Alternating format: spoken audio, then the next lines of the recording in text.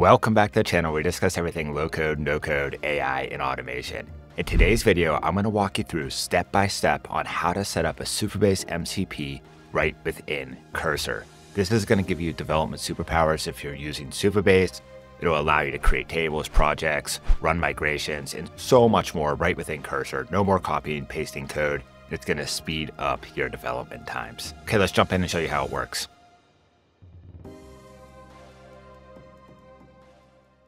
All right, so we're on the page for the official documentation for Model Context Protocol MCP on Supabase's docs. So what we can do is we can see that we have different IDEs here. There's tutorials for Cursor. So we're just going to click on the Cursor option.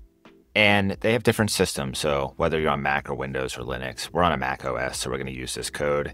What we can do is actually copy this code. And this code is pretty much good to go. We're just going to have to put in our Supabase access token and our personal access token. And I'll show you how to do that.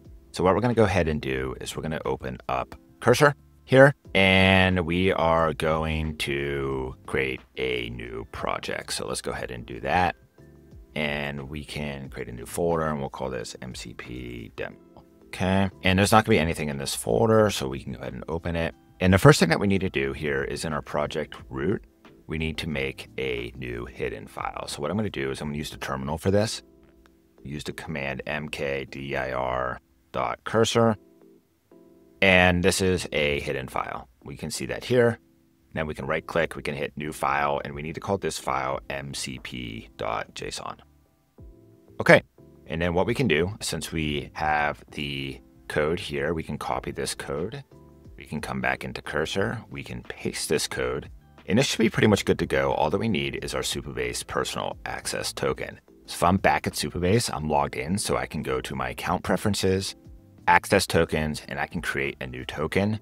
Keep in mind, you don't want to share this token with anyone because it gives total access to your Supabase. So we'll call this YouTube. We'll delete this key after this video, YouTube key. Let's just say that. Okay, generate the token. And we just copy it. We can come back to cursor. We can paste this in here. All right, we can hit save. And you see this little pop-up down here? You may or may not get this, but it says new MCP server detected Supabase enable. Yes, we can click that.